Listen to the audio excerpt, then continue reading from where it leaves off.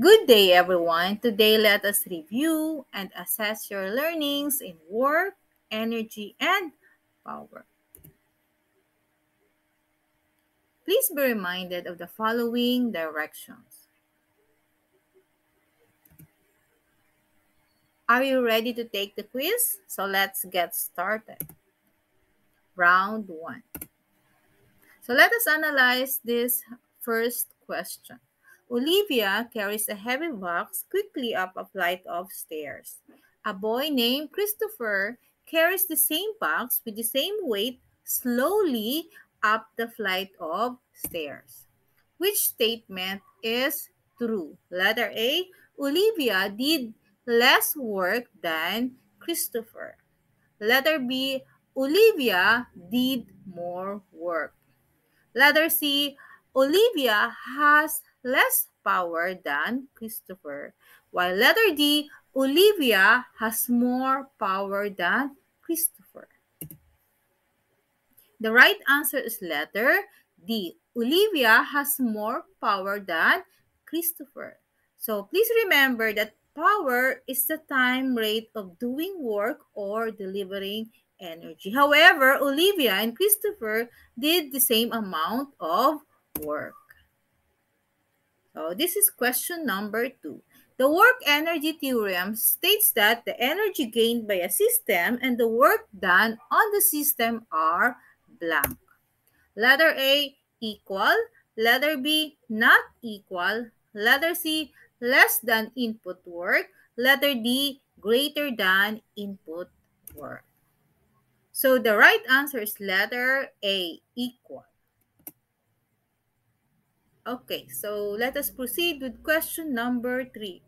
Work is done on the following situation except letter A. Rachel is holding a tray. Letter B. Richard is closing the door.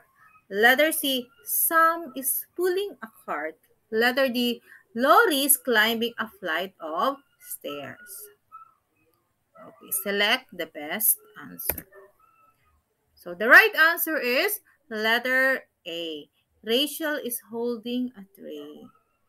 So work in physics um, is a measure of energy transfer that occurs when an object is moved over a distance by external force. Okay, question number four. What happens to the body in which work is done? Letter A, it loses energy. Letter B, it gains energy. Letter C, no change in the energy. Letter D, first it loses, then it gains. Select the best answer.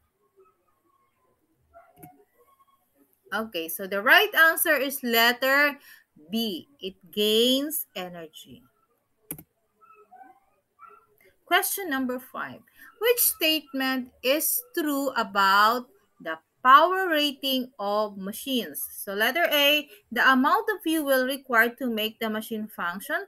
Letter B, the total amount of work done by the machine. And the letter C, the amount of energy consumed per unit time. Letter D, none of the above.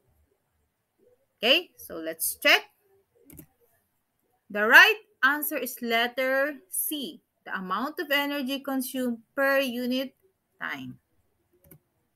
Okay, last question for round one. Question number six. If an object has kinetic energy, it must also have letter A, speed, letter B, acceleration, letter C, force, letter D, impulse. Okay, so the right answer is letter A, speed. Okay, round two. Select true or false. But before we proceed, let us recall that work is defined as the dot product of force and the displacement. It gives an object. And Energy is given the definition as the ability to do work. And lastly, Let us recall that power is described as the rate of doing work.